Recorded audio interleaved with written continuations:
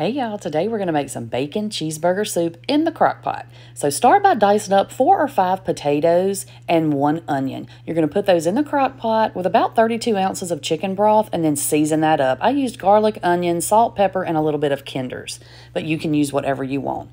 Stir it up real good and let that cook for about six to eight hours. About an hour before you're going to eat, brown some ground beef, take it out, drain it. Then you're going to make a roux, two tablespoons of butter, two tablespoons of flour.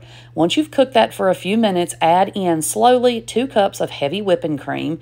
Let that thicken up a little bit, and then add your gravy and your meat to your crock pot. Then you're going to chop up some bacon, throw that into your crock pot, and then we're going to add in about two cups of shredded cheese. We're going to put the lid back on our crock pot and let this cook for about another 30 minutes. Then you can just top it with a little more bacon and cheese. This is so good.